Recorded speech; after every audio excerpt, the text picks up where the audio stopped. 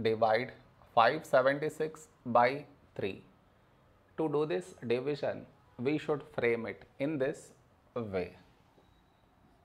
576 here, 3 here. This is your step 1. Next, here we have 5, here 3. A number close to 5 in 3 table is 3 ones 3.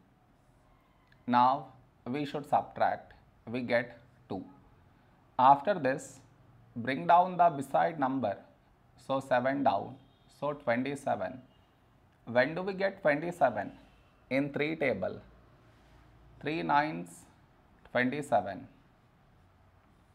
Now we subtract, we get 0.